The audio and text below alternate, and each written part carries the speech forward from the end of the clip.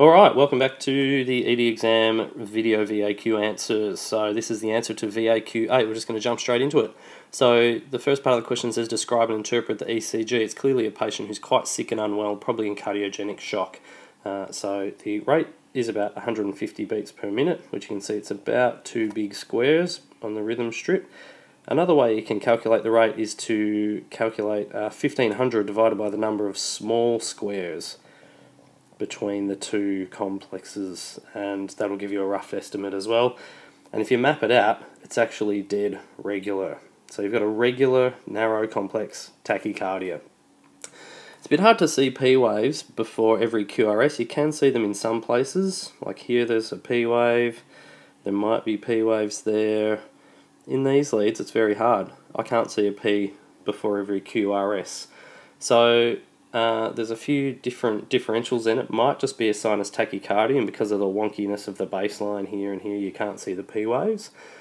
If you can see P waves that are of three different morphologies, which I struggle to do, you got to think about potential mul uh, multifocal atrial tachycardia. And if not, then that makes it an SVT. You can get little um, P waves popping up in things like an AV nodal reentrant tachycardia, so that's a differential. And I guess also I think atrial flutter with a rate of 150. You normally see flutter waves best in V1, but again, this this mm, hard to say. I don't think that's quite the sawtooth pattern. And then often in the inferior leads, again, that doesn't really look like flutter. If you see the rate of 150 though, that's part obviously part of the differential. Uh, and clearly it's not AF. The PR interval, where it's visible, is not lengthened, and the QRS complexes are narrow. Of course, the striking abnormality, you may have just jumped straight to this, is, is the ST elevation in the anterior leads. It's more than 2 millimeters and it meets reperfusion criteria. There's also reciprocal ST depression in the inferior leads in 2, 3, and AVF. Uh, so that uh, confirms that it's an anterior STEMI a critical point, which is a sort of a hot topic in the literature at the moment, and those of you who are astute will have also noticed that there's ST elevation in AVR. This is predictive of a proximal left main coronary or LAD occlusion, and in this case, there's a one and a half to two millimeters of ST elevation in AVR. That's predictive of a anywhere from a 25 to about a 70% mortality. So, in conclusion, I think you need to state emphatically this this is a life-threatening ECG. There's a left main or proximal LAD occlusion causing an anterior AMI with these big ST elevations here and uh, there's a possible subsequent arrhythmia related to that because it might be an SVT and cardiogenic shock and it mandates immediate reperfusion. Alright, so we'll move on to the management now. Of course, this is a uh, critical cardiac emergency or a life-threatening cardiac emergency is a good uh, way to describe it.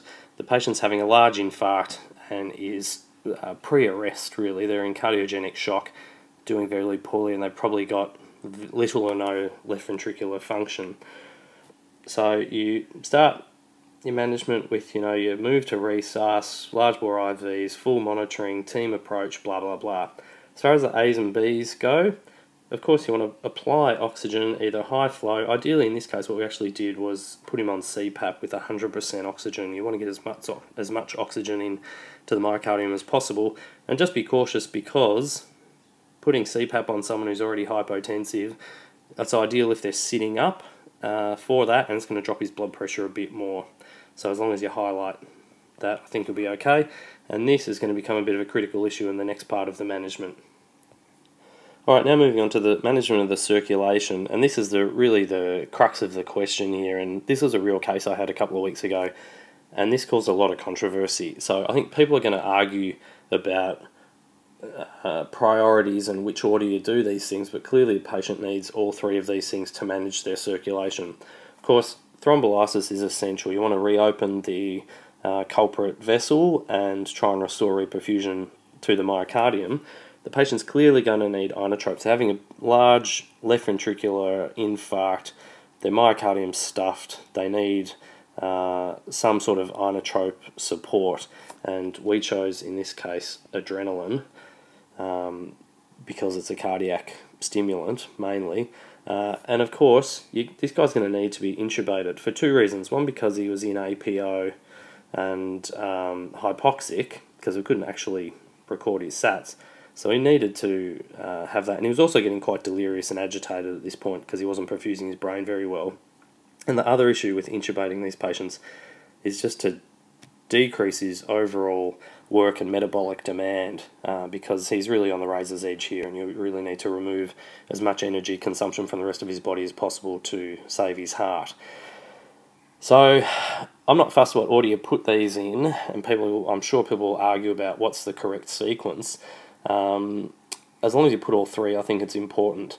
Some discussion points about this are that ideally, before you go and intubate this guy, you want to get his blood pressure up uh, because giving him drugs with a systolic of 60 is going to crash him out. That's a wrong, the wrong thing to do. The, your choice of induction drugs is critical if you did mention it. You want to try and not drop his blood pressure if you're going to give drugs and ideally you want to use something that's you know in inverted commas cardiac stable. We chose fentanyl, and uh, I think we gave him a whiff of midaz as well. However, we did not intubate him until we'd thrombolized him and put him on inotropes first. So we actually did it in this order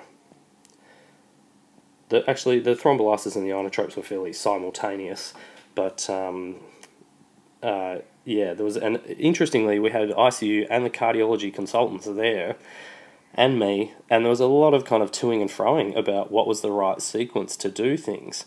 Uh, of course, as long as you're nascent of the fact that once you thrombolyze someone and then you go to intubate them, so if you thrombolyze and then you intubate them, You've also got this risk of bleeding into the airway, which uh, in my case was very interesting because I was quite happy to exceed control of this case to the cardiologist and the intensivists who were in the room with me because this guy was really sick. He was obviously going to be under their care for the next week or two, and uh, I wanted them actively involved. And when it came to intubate the patient, I said to them, "Oh, would you like to do it?" And they handed me the laryngoscope and said, "Oh no, oh you can do it. That's all right." So they uh, they wanted the ED sucker to take on the risk of the potentially bleeding airway. Luckily for my patient in real life, that didn't happen, but it's really important to uh, uh, an important point to uh, to keep in mind. So as long as you put these three these three things down, they're the critical management points for circulation. And of course, the last bit of management is uh, supportive care and disposition. So, su supportive care is your management of the intubated patient. You need to have a quick little checklist you can bang out for that. Things like uh, manager management of temperature, glucose control, fluid balance, uh, indwelling catheter, sedation, and paralysis. You should be able to bang those out quickly. And of course, this guy's going to ICU, isn't he? And preferably, he's going to be transferred to a large cardiac centre as soon as possible. Alright, this is just a quick little discussion about anterior STEMIs. Of course, this is the worst type of STEMI you can have. Uh, so you're diagnosed on the ECG by ST elevation plus minus Q waves in V1 to V6, ST elevation in lead 1 and AVL, and inferior reciprocal changes. Uh, this indicates a uh, LAD occlusion. They call this vessel the Widowmaker carries the worst prognosis, the largest infarct size, has a higher mortality, higher rates of CCF, and uh, lowest ejection fraction of all your infarct uh, kinds.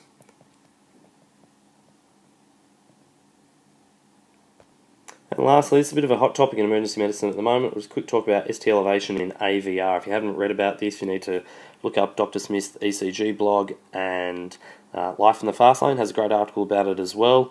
Uh, it's a bit of a hot topic. A lot of the cardiologists and cardiology regs aren't totally au fait with it, and it's something you need to know about. ST elevation greater than a millimeter in AVR indicates an LAD occlusion. Uh, the higher the ST elevation, the higher the mortality. So more than half a millimeter means uh, about a four times increase mortality. Greater than or equal to 1 millimeter of ST elevation AVR, 6 to 7 times mortality. Greater than 1.5 millimeters ST elevation in AVR means, you know, flirting with death, very, very high mortality. It indicates a proximal LAD occlusion or a left main coronary occlusion. Alternatively, it can also just indicate severe, severe triple vessel disease, and the patient is going to need CAGs. It predicts the need for uh, cardi- uh, cardiac bypass surgery. So there you go. That's the answer to VAQ number 8. I hope you enjoyed it. And if you want to get in touch with me, just check out the website www.edexam.com.au. You can tweet me at edexam or you can send me an email andy at edexam.com.au. Please feel free to leave a comment on the site, uh, on the main page on the site where I post the video, and I look forward forward to hearing your feedback. For those of you doing the fellowship exam coming up in a couple of weeks, good luck. I hope you kill it, crush it, do really well, and uh, we'll get some tips on the upcoming clinical exam for when you get through the writtens. Cheers, all the best. We'll see you next time.